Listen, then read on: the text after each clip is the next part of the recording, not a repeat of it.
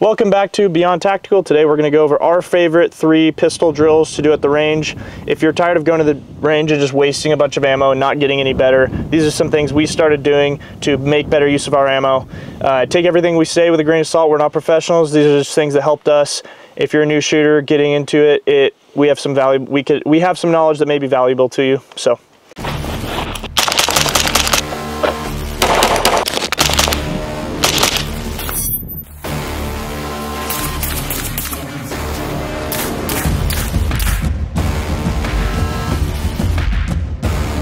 So the first thing is you want to have a good setup. Uh, right now we have some silhouette targets. I like paper for this because we're, we're going to be shooting from 5 to 10 yards. It's a good range to start from.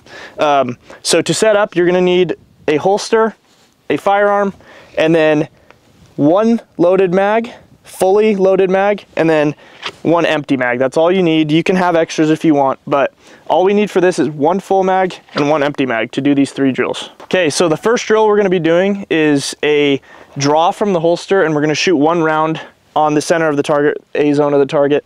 Um, so all, you're gonna basically take your full mag, put it in the gun, rack, and you want the full mag in the gun for this drill because you wanna feel the real weight of your firearm. You're rarely ever gonna have a mag with just one bullet in it when you're drawing. So you want the full weight of the magazine. You're gonna stand here, and this is for a new shooter, so let's assume you don't have a shot clock or anything like that. Uh, you can either have a buddy say go, which is recommended because then like you're not expecting it right away, so it's more realistic. But if you're alone, it's totally fine. You can just stand here and then all of a sudden you'll just say go in your head, you'll go, draw the firearm and shoot. So there's a few things with the draw that I wanna talk about.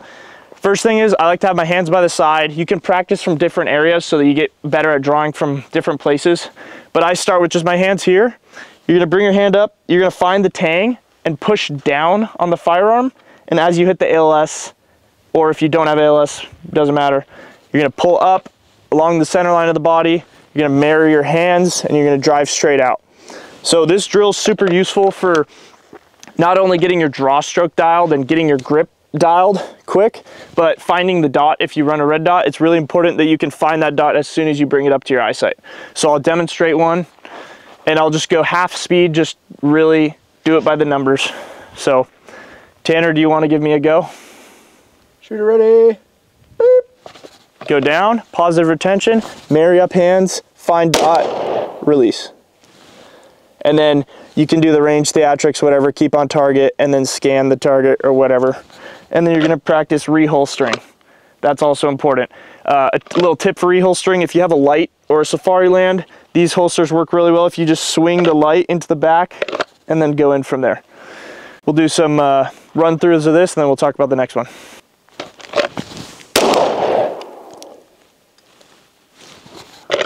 Do a few more.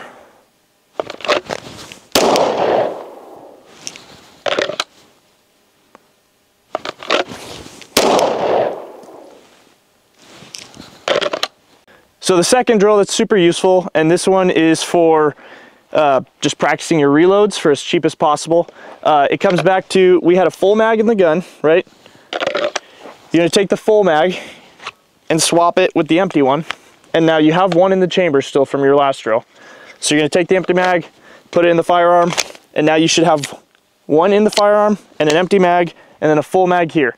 The reason it's better to have a full mag and an empty mag like I said earlier, is because if you have just two mags with one in each for this drill, you're gonna practice drawing from your mag caddy and it's gonna be a light, lightweight mag, which is not realistic because realistically you're gonna be pulling a full mag out. So that's why you want a full mag and an empty mag.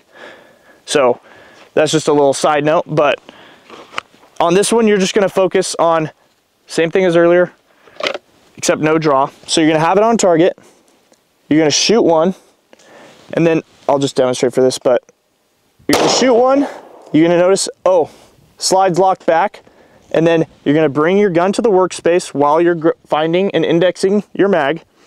You're gonna shift your grip if you need to, for somebody like with small hands like me. Shift your grip to be able to get to the mag release. You're gonna dump the mag while you are pulling out. Here, Tanner, get over here. You're gonna put your tip of your finger on the tip. With these extended mags, it's harder, but on a regular mag, you're gonna have your tip of your finger on the tip of the bullet. And now if you come up here, as I'm bringing that up, I'm taking a split second to look at my firearm and make sure it goes in right.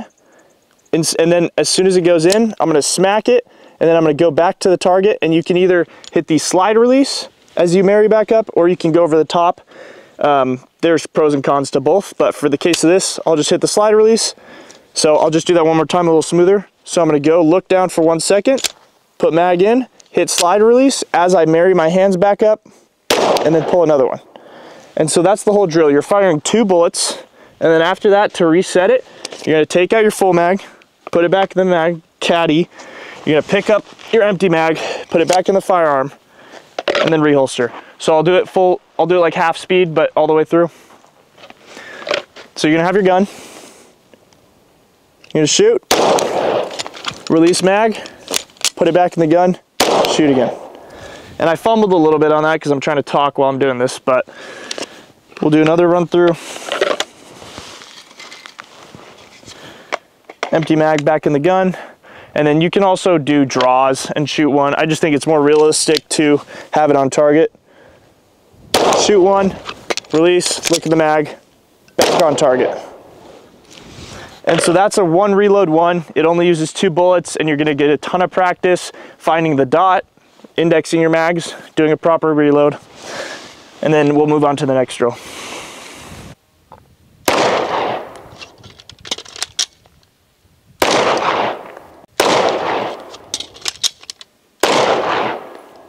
All right, so this third drill, uh, this one is more focused on recoil management. The first two drills, we didn't do any multiple shots at a time. So um, this drill is completely focused on staying on target and keeping your dot in the window and uh, just being able to deliver multiple shots on target. So for this drill, you can either draw and do this, but we kind of already practiced draws earlier. So we will just have the full mag in the gun. We're gonna aim at the target.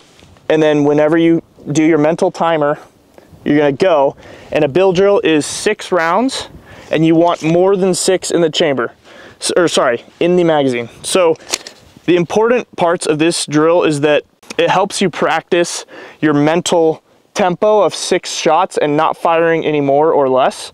So not only are you just making sure that you only fire six, but you're making sure that your dot stays on target and you're able to manage that recoil. And this is where you'll notice if your grip breaks down. This drill is the best way to see if your grip has flaws and what you need to work on as far as grip and making sure that your stance and you're able to stay balanced. So I'll, I'll demonstrate this um, and we'll do it just from here. So I'll go six shots on target. I'm gonna get up, dot on target. I'm gonna tell myself when to go and then I'll shoot six shots. So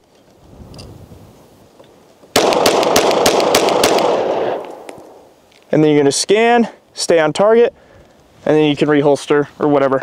But the biggest thing with this drill is that you don't want to speed it up too much. You want to make sure that you're taking your time at the beginning and getting them all on target. And as you get better, you can go faster and faster. Um, we're about at six yards right now. I think that's a good place to start uh, just because you want to focus on the little things rather than being 20 yards away and missing all your shots, which there's no point in doing that anyways. So uh, and then the last thing about the bill drill I want to talk about is just the reason it's important to have more than six rounds in your magazine when you do this is uh, if you only have six rounds in your magazine, it's going to automatically stop you when you're out of ammo, which doesn't really help your mental tempo. So you want to you want to be able to like control your fingers so you can release the exact amount of shots you want at a high speed. And uh, one way that I learned how to do this from somebody that taught me was before you actually do the drill, just in your head with your finger, just go one, two, three, four, five, six, and do it at the tempo you want to actually pull the trigger at. So you're gonna sit there and just one, two, three, four, five, six, and then do it so you can do it without counting. So it'll just be, and then you'll just translate to that gun. And I think I still have six in here, so we'll just do it as fast as I can, and I'll show you that that temp, that practice with your finger beforehand helps. So I'll go, am I out? No, I'm not, sorry. So that's faster than I can mentally count, but because my finger's now used to pulling the trigger six times, I only pulled six shots, even though I still have bullets in the magazine.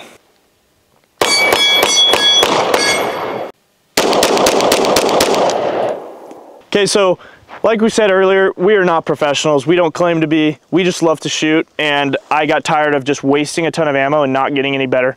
So I was professionally taught how to do this, and these are the, this is exactly how they taught me to do it. Um, these drills are my favorite, and I think they're the most useful for the amount of ammo they use. Uh, something, as you get more into shooting, I think it's important that you get a shot timer, because when you're mentally telling yourself when you're gonna go, you're already ready. Whereas when you have uh, external stimuli that you have to react to, it's gonna make things much more realistic. So investing in one of these is a good decision, but you don't have to do it right away. Get used to the techniques and everything first, and then you can invest in one of these to get better and better.